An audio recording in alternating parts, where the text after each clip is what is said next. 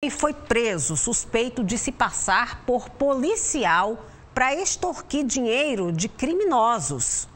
Por uma questão de honra, para tentar não deixar que esse indivíduo sujasse o nome da nossa instituição, bem como também da instituição co-irmã a Briosa Polícia Militar, nossos investigadores insetaram diligências no intuito de coletar o maior número de provas possíveis. E no dia de hoje, no princípio da oportunidade, ao localizar esse indivíduo se deslocando de, um, de João Pessoa para Santa Rita, realizaram uma abordagem e no baú da motocicleta que ele estava conduzindo foi encontrado parte desse vasto material apresentado na data de hoje. Diante da situação, dos indícios, eh, os policiais se deslocaram até a residência do mesmo e encontraram munições de arma de fogo de uso permitido. Diante dessa situação, ele foi conduzido até a Delegacia de Repressão Entorpecente, onde hoje está sendo autuado em flagrante pelo crime de posse de munição de uso permitido e receptação.